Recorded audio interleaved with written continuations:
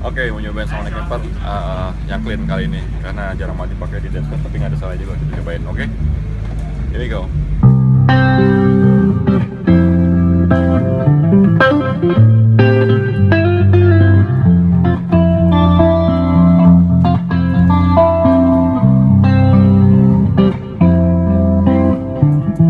thank you